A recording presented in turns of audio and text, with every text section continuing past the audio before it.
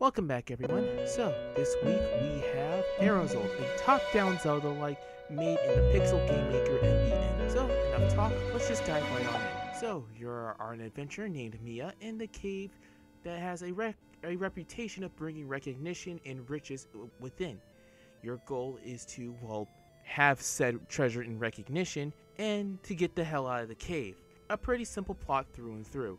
The presentation nails the top-down Zelda look in terms of the pixel art and the, well, sound effects and the music. Unfortunately, you can't really hear the sound effects and music due to the sound of my voice and how I recorded it. So, yeah, but do play it for yourself to experience it, or just watch it on YouTube.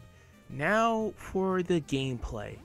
As previously mentioned in the intro, this game is made in Pixel Game Maker MV, and if you've been in the show for a good while now, you know that this game, Finjin and I, have a bit of an iffy relationship, because for some reason, whenever people make a game in this engine, they have a bit of a boner for making difficult slash frustrating level design, or any kind of design in general. And this game has it in fucking spades. We have dickhead level design, dickhead enemy placement, and just dickhead enemies in general. Like, legit, the level of frustration I feel, I am not afraid of admitting. I have rage quitted this game two times already.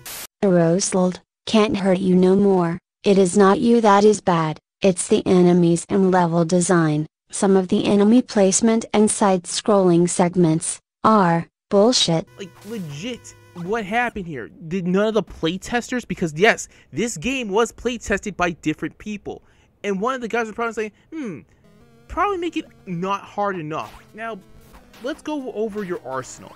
You have a basic sword which you can eventually level up to have some form of a charge attack, which I'm gonna be honest with you, I barely use until the end game. You have a bow which you can level later level up to a mithril bow, which you'll need to fight the Cthulhu-style monster there. Trust me, I I already knew that already. And let's be honest here, it's just an obvious upgrade. You go from a regular bow to a mithril bow. That's just obvious. You have bombs, which are awesome.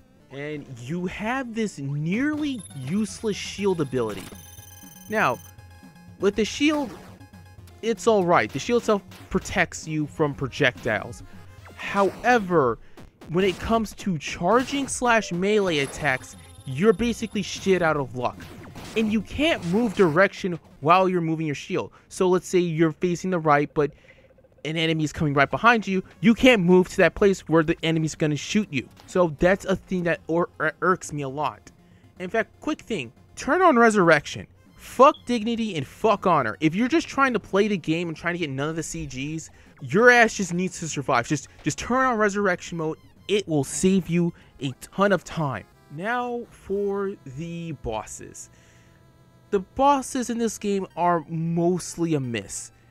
Except, except for one, the saving grace called the Living Armor. The Living Armor in this game actually feels like a a proper test of my skill and abilities so far. It doesn't give you any bullshit attacks. It doesn't give you anything that bounces at you like the damn plant boss. When it does bombard you with a bunch of shit, you can at least block it or dodge it properly. You could be you could say the same arrest for it, but here's the thing. This thing actually allows actual proper breathing room. I like this, but the rest can go suck a dick, especially the damn spider boss. Don't be like me and brute force it. Just chuck bombs all day. Overall, I really can't give this game a, a recommendation. Hell, not even a cautious recommendation the amount of frustrating bullshit that happens in this game is not even worth it in my honest opinion. But until then everyone, good night and good luck. If you enjoyed this video and wish to see more of Overlord content, please like, comment, subscribe, and the bell for both uploads and community post. Also follow him on social media such as Twitter and Pixiv.